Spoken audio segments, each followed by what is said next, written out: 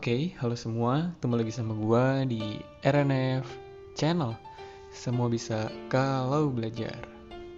Baik, di video kali ini sesuai dengan spoiler yang udah gua kasih tahu di video sebelumnya, untuk part 2 itu membahas tentang demonstrasi alat.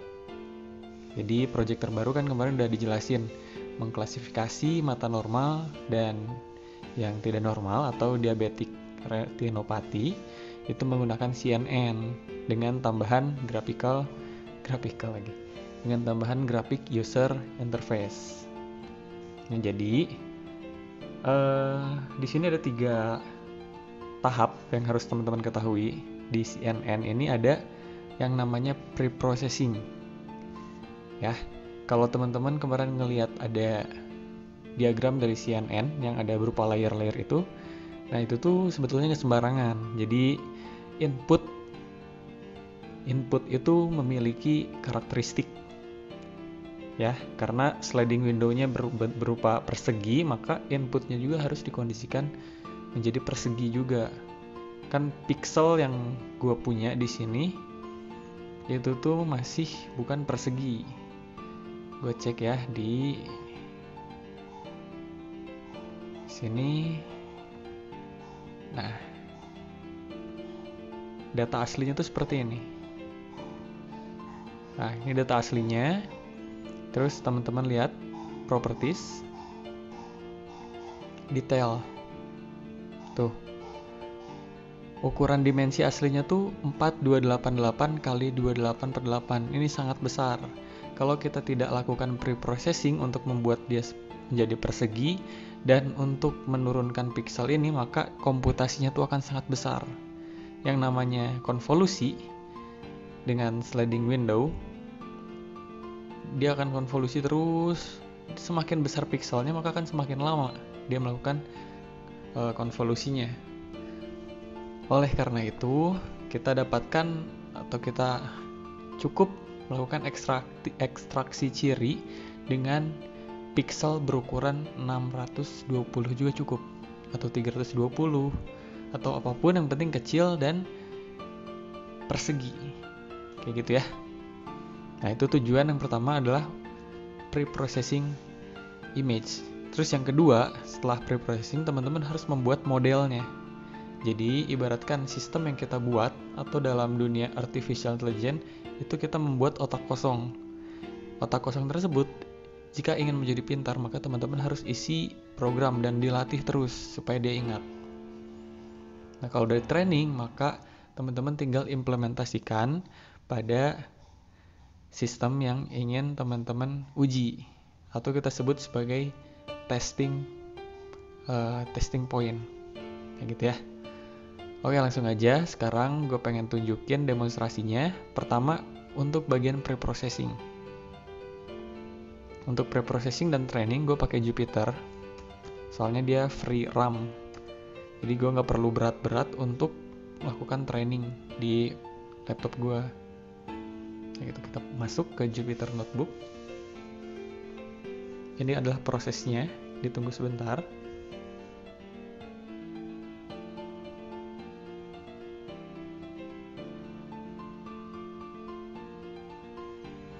Oke, agak lama. Nah, mulai muncul. Ya, di sini kita mainnya lokal host. Jadi, kita bisa akses online dengan mengakses uh, library yang ada di komputer kita.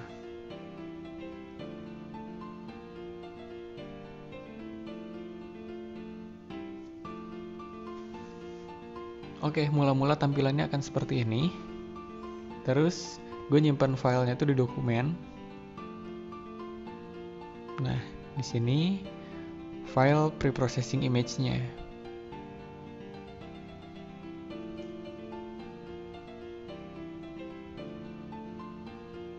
Nah, teman-teman bisa lihat gue buat uh, pixelnya tuh 612 dibuat persegi ya. Karena di sini ada function resize.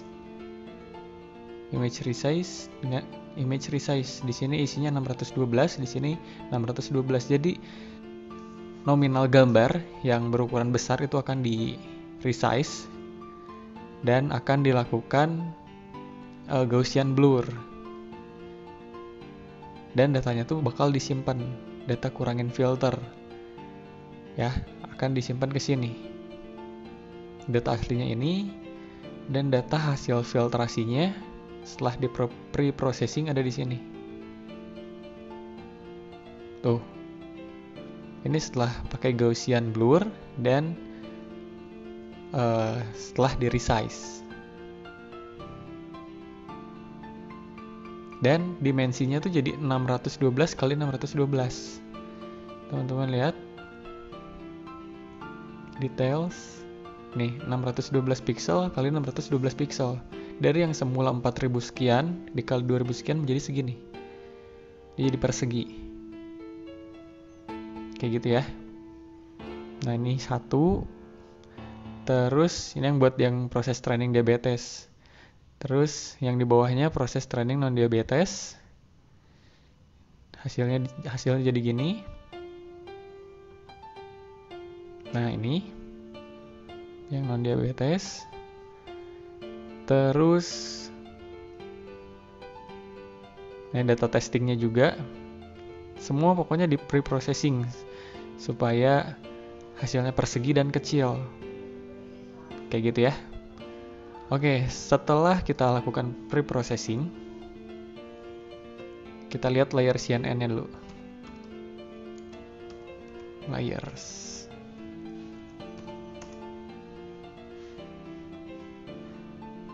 Nah, di sini dia. Ups, gue kasih yang ini aja deh. Nah, teman-teman lihat di sini.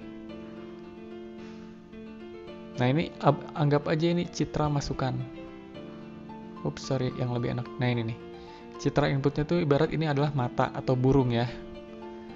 Nah si ini tuh harus kita pre-processing supaya di layer ini dia berjalan dengan baik.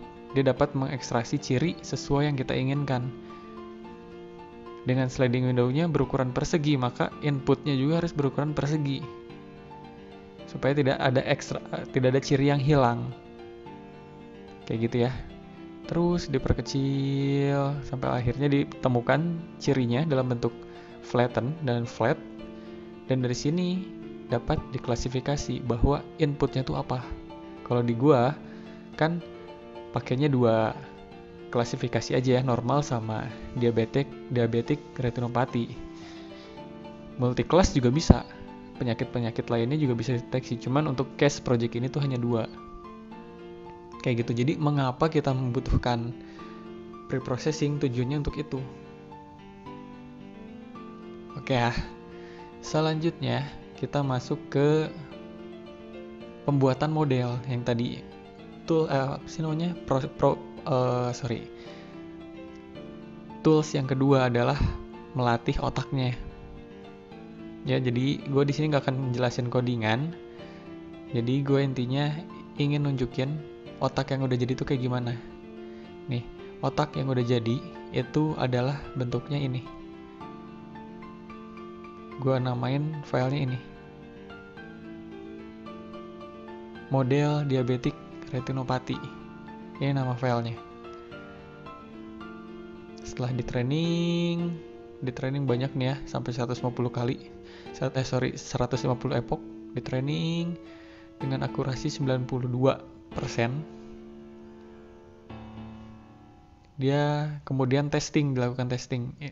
Di tes ini tuh adalah masuk ke kategori apa ternyata dia sistem yang udah gue latih itu menjawab dia adalah diabetik diabetik dengan tingkat kepercayaan menjawab itu 73,11 persen kayak gitu. Ini adalah proses pembuatan otaknya. Dan sekarang kita akan coba demonstrasi implementasi menggunakan GUI Graphical User Interface. Gue di sini pakai Spider.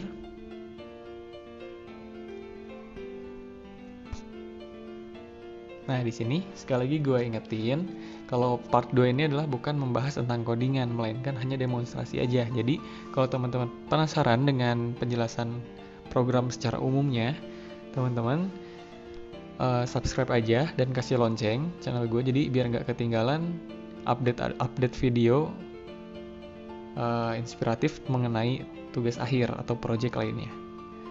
Oke? Okay? ya ada di sini. Cara runningnya gimana pastikan workspace-nya itu sama teman-teman.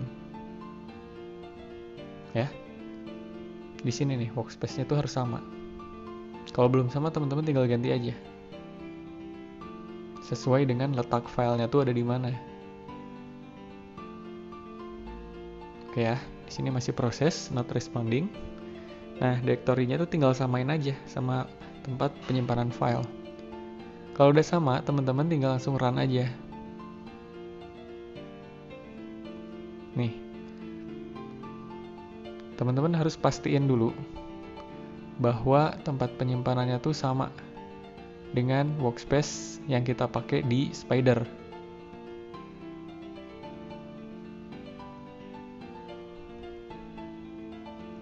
Ya, di sini ya.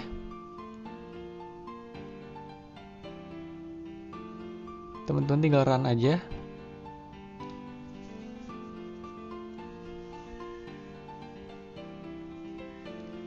ditunggu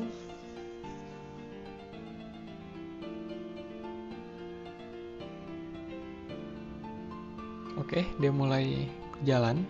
Cuman sebenarnya enaknya pakai RAM 8 GB biar nggak berat sih. Cuman karena belum sempat gue upgrade jadi ya agak delay. Cuma nggak apa-apa. Next, gue coba upgrade RAM untuk laptop gue biar proses komputasi ataupun menggunakan IDE-nya lebih ringan. Karena di sini gue kapasitas sistemnya tuh tinggal tuh tinggal sisa 11 giga lagi udah nggak muat ini harus dibersihin atau nggak ditambahin RAM RAM-nya.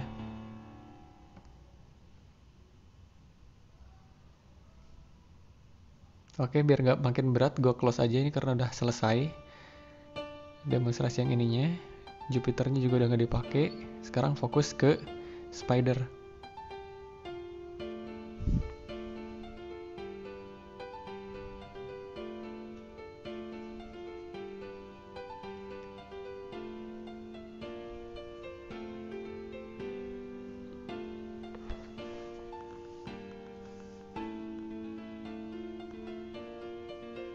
Nah, successfully sedikit lagi muncul.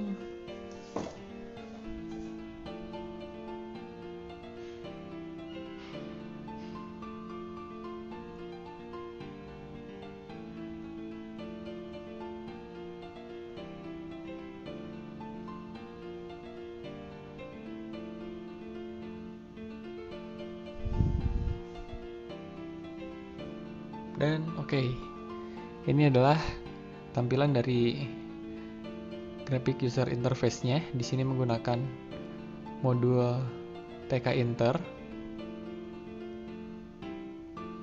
Teman-teman pertama browse image yang ingin diklasifikasi yang ingin dibaca oleh sistem, image-nya mau yang mana.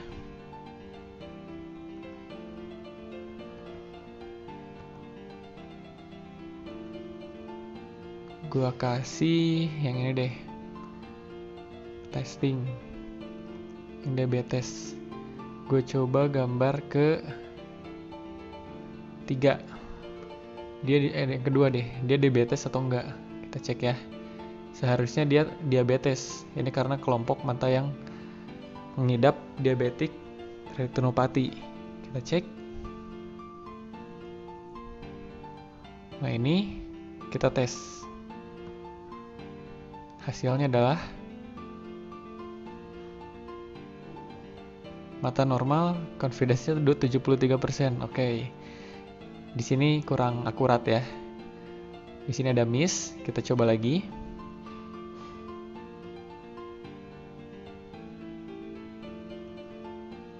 Nah, uh, sistem menjawab ini adalah penyakit diabetik confidence 73%. Selanjutnya gue random ke sini. Sistem akan menjawab ini adalah penyakit diabetik juga. Dan terakhir, terakhir gue cek yang ini deh. Sistem akan menjawab dia diabetik. Oke ya, sesuai. Selanjutnya kita tes mata yang normal. Non diabetes. Oke, gambar pertama gue jadikan sampel. Harusnya ini adalah mata normal. Kita tes. Oke, betul ya, normal 73%. Selanjutnya kita tes lagi. Masih normal 73%. Terakhir, gue sampling yang di bawah yang ini deh. Harusnya dia normal dengan confidence 73%. Oke, jadi miss sekali ya yang awal barusan. Gak apa-apa karena memang hasil training kita nggak 100%. Pasti ada salahnya.